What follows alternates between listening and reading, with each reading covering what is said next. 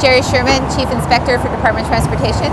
Um, this project is to alleviate the merge in Lynnwood where you have 405 and 525 traffic coming onto I-5, yet I-5 trying to exit to 196 in Lynnwood. Um, it's a huge congested area. You have too much merging traffic.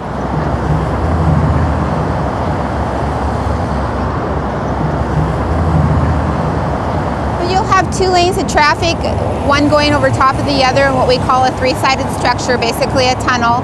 And I-5 itself will have its own dedicated lane to exit off to 196. This is where the tunnel will be. So right now we're doing what's called a soldier pile wall. Um, what the drill rig does is it drills a big hole. It's about 57 feet deep the concrete truck will back up and fill that hole up with concrete. And then the next crane will come over and set what's called the H-beam, the steel pile.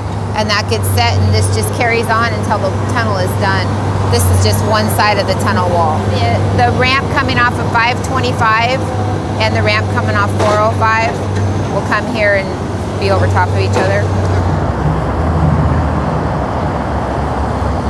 The challenges will be the environmental aspects of the project. Just because we have so much exposed soils, we have to keep everything covered. This entire project is exposed dirt. So that's our biggest challenge right now.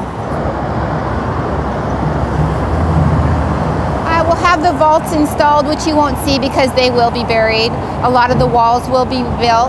You'll start to see the tunnel come together. Um, a lot of the other work you probably won't see, but drainage is a big one. A lot of the electrical. We have a lot of temporary illumination poles up right now. We will have a lot of permanent poles, new light fixtures.